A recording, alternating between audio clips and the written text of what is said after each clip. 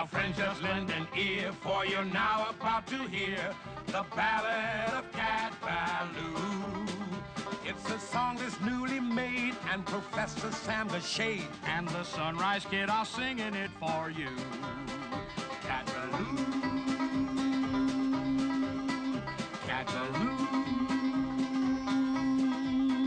Cat.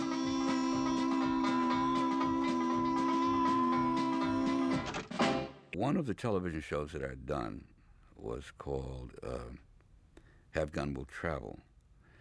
And there was uh, Frank Pierson, who later turned out to be one of the writers on Cat Ballou, was, I think, the story editor on that. And he had been approached by Harold Hecht, who was the producer of Cat Ballou. And Frank said to Harold, You ought to meet this guy. There's only one guy wacky enough to, to do this. At any rate, I got the job. So the question was who to cast. There was the usual pressure to provide a celebrity name in the leading part. I pulled out my secret desire, which was a fellow who had played in a film called The Wild Ones and uh, had got off a motorcycle and reeled around for a moment in a kind of a scroungy way. And his name was Lee Marvin. So they sent the script to Lee, and the report came back that he was at cocktail parties all over town reciting speeches from it. Oh, it was just swell. Just the way I figured it'd be. Harold wanted Jane Fonda, which was certainly fine. It was an early effort for her, and she was very well known and had the reputation of being a, a real pro.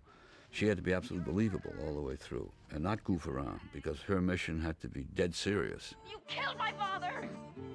Oh, that can't be. He's been sitting right there all morning. No, I saw him.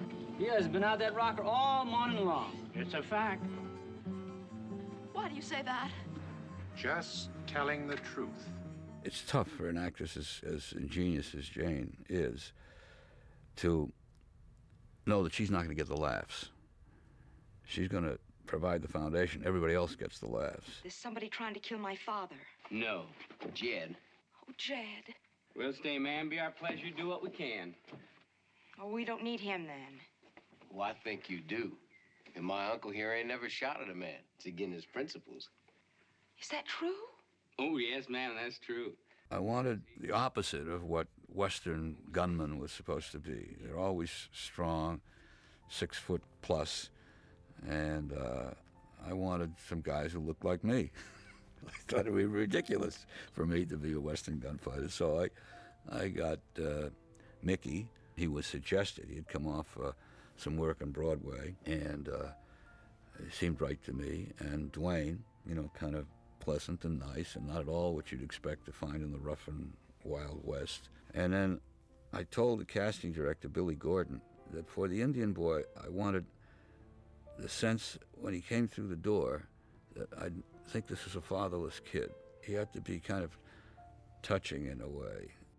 Tom Nardini walked through the door, and before he opened his mouth, I said, That's the guy, I hope he can act. And he did. See you later, son. Well, Lee was playing this whole thing with a kind of bravado that caused his colleagues on the crew to break up laughing on every take. And I kept looking at him and saying, no, this is not what I'd hoped it would be. Can't say what I had in mind because it wasn't all that clear to me at that moment, frankly. I knew generally what I wanted, but specifically, I thought Lee would fill in uh, what I wasn't sure of. I got to about take six or seven, and Harold was sitting on the periphery, I remember, and called me over. And he said, uh, I got to talk to you.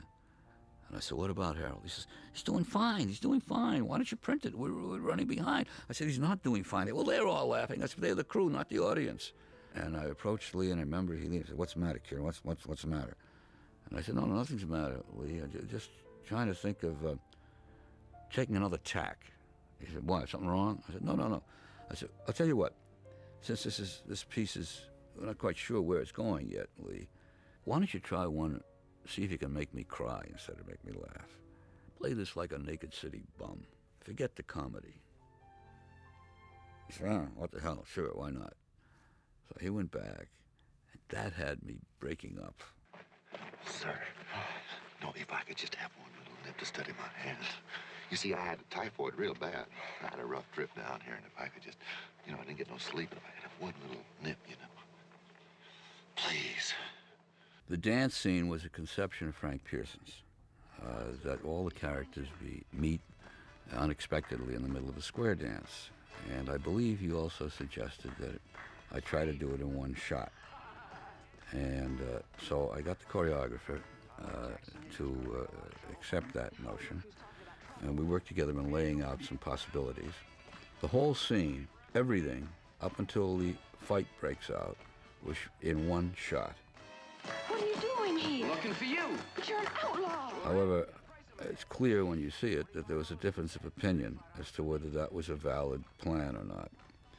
There are a couple of places where there were cuts made in it, uh, somewhat painful because when you go to work to make something that kind of fluid uh, and it's interrupted, it's it's a little hard to take some time. But nevertheless, uh, there it is. Thank you, ma'am, for all your help to my nephew and I. When I first read the script, the two street singers were in it. However, they were not presentational. That is, they were part of the life of the town. And so I said, oh, my gosh, take these two singers. I'll make them tell the story of the Ballad of Cat Ballou. They'll directly address the audience, and they'll be invisible to everybody else. They'll pop up and make odd appearances here and there. And uh, it's one of my favorite things in the film. Wicked through and through, they'll now be hanging Cat And I wanted Stubby Kaye, whom I'd worked with in musical theater one summer. But I didn't know who the other one should be. And Mike Frankovich again came to the rescue. He said, How would you like Nat King Cole? And I said, Terrific. No, I said terrific. That was not a period of time when black performers were so easily welcomed into feature films.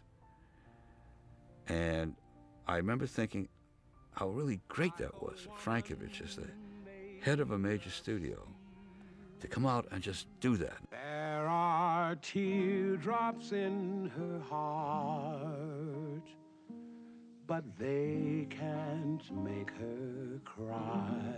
I must say that one of the sad memories I have of that is that nobody knew why, but Nat was coughing quite a bit, uh, particularly when we got up into the thin mountain air. And uh, later, uh, it turned out, of course, he had uh, lung cancer. And uh, it was shocking to know that while he was moving forward there, he was a sick man. Wonderful guy. Cause they can't make her cry. We reached the final sequence in the movie where uh, the rescue of Cat Ballou is, is being planned. Shelleen is on his horse leaning against the wall. I said to the uh, wrangler, I said, have the horse cross his legs. And that, of course, became the, signature image of the film. I think it made it into Life magazine. When Lee received his Academy Award for Best Performance, he thanked the horse in the valley. when Cat is being led out to her hanging, I remember a picture called Marie Antoinette, in which uh, there, Marie Antoinette is led, I think, to the guillotine. The shot is framed with the instrument of death in the foreground. And I said, oh, I'll steal that. Why not? You know, we'll make it Marie Antoinette coming to a noose. I want to see her head come right up the stairs into that noose. And uh, again, this is a demonstration of the skill of camera operators. In those days, you didn't have a through the lens uh, view. There was a viewfinder off to the right with a parallax adjustment. And so the operator, when he rehearsed, had to look in the viewfinder and then through the lens to make sure that what he saw in the viewfinder would ultimately be revealed in the lens. I was blessed in this movie with the assistance of the almost the inventor of Western stunts, Yakima Canutt.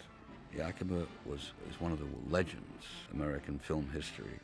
He was a big, tall, soft-spoken guy, about six-five, kind of cowboy calmness about him. And he said, "What I'm going to do here is I'll have that beer truck come down here, you see, and you see all those barrels up." He says, "All right, that one right there is going to wind up right here. I said, you sure, Yak? It's, that barrel there is going to roll right over here.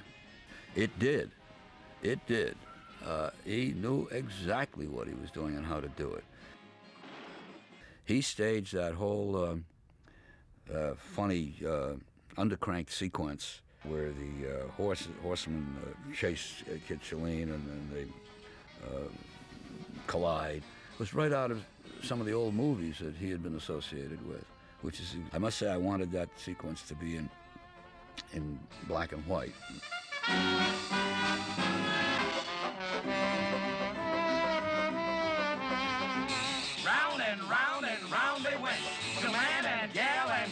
Spent.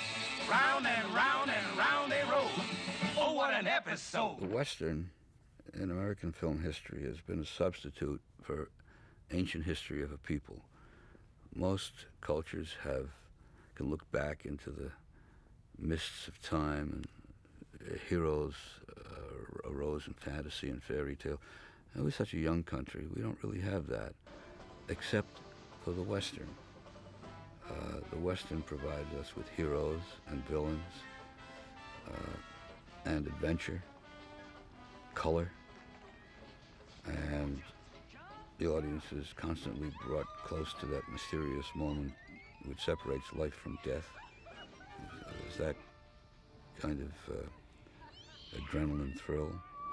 Let's get out of here! Oh, we did it, my little guy, the sweet outlaws! I'm impressed as I look back to see how many people actually contributed to this uh, in so many substantial ways, really substantial ways.